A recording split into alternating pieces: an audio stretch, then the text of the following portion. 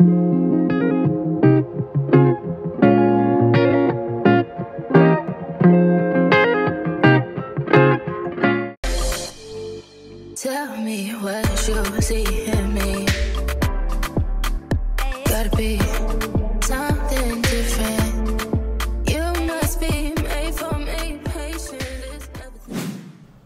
So the first step is to tone the hair.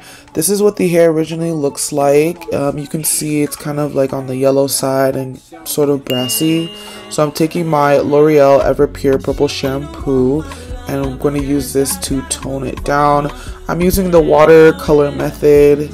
Um, all you have to do is use some warm water, put the shampoo, mix it in there, and when you're mixing it, just make sure that you're mixing it well enough that there's no um, clumps because you don't want to risk any parts of the hair turning purple. So just be aware of that and just mix it real good. And once it's all mixed up, you can then take your wig and dump it in there. Really make sure you saturate the wig in this mixture so that you don't come out with like one side still brassy and the other side like toned down. Like really work that in there. Um, this took me about I want to say five to ten minutes to do fully so that when um, I finished it came out looking the way I wanted it to.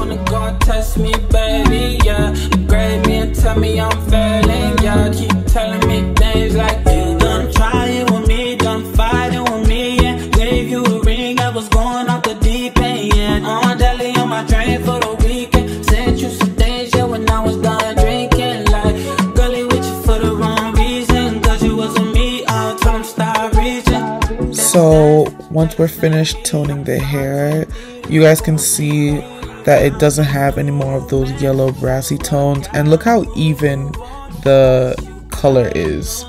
Make sure you guys take your time when doing this. This is the foundation before dyeing your hair. To achieve this color, I went ahead and bought four boxes of the Revlon Color Silk. Go ahead, pause, and screenshot so you guys can see the colors that I used.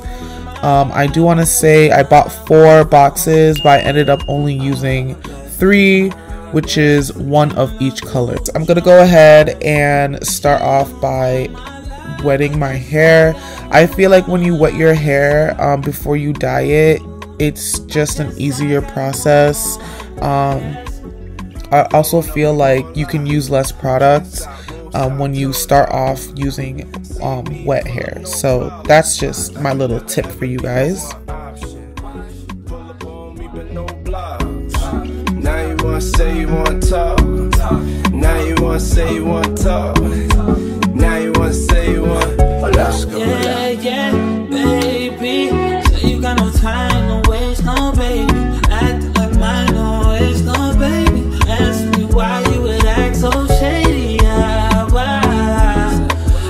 When you open the box, they do come with the directions and they provided these gloves. So I'm just putting that on.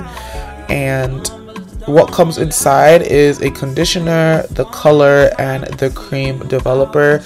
This bottle is the cream developer, and what you're going to do is open this and the color, which is in the darker bottle, and pour that liquid inside of the cream developer. Pour it all inside of there. Once you're done pouring, all you got to do is close it up and shake it up. And you're to repeat this for all of the boxes that you're going to be using for this process. Pretty simple, pretty easy. So you can watch me do that.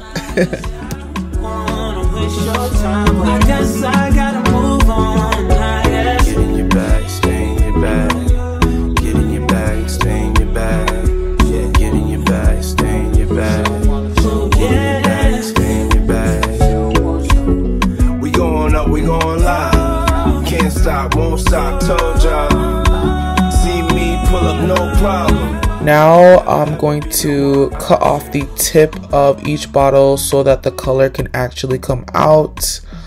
And once I'm done with that, we can finally get into actually dyeing the hair.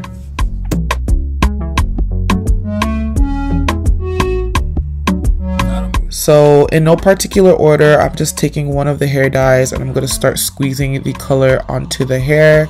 Now I really was going for a cohesive color but at the same time I wanted my hair to be dimensional so I kind of just did one bottle at a time.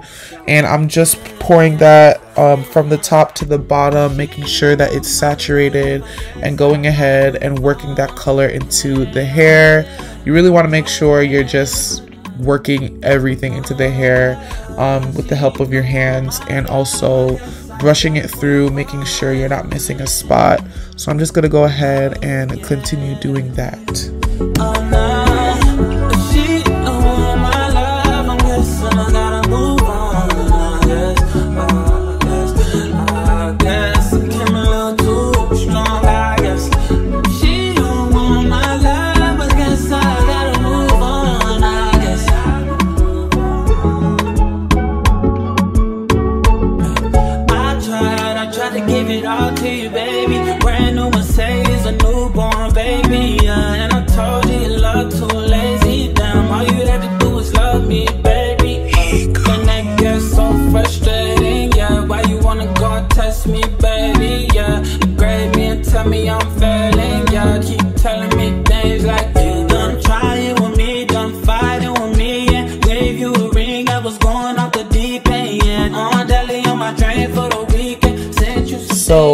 Once you're done getting all that color in, you guys see how saturated it is. Like don't be scared to use all of the color.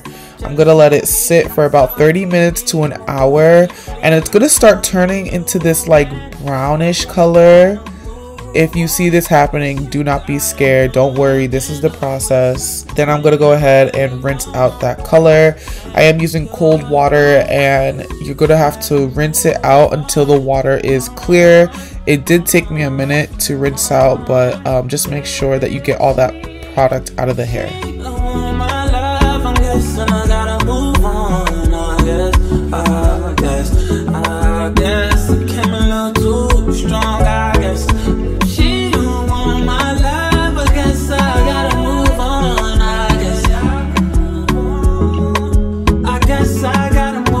So the final step is taking my silicone mix and putting this in the hair. This stuff is so good when it comes to like the dyeing process. You know, it makes the hair softer, it kind of revives it and it's just amazing. If you've never used this, I highly highly recommend you get some and try it on your wigs. They make them last longer as well. So I'm just putting this on to the hair and uh, then I'm going to put this in a plastic bag to sit and I believe I let it sit for about an hour or so.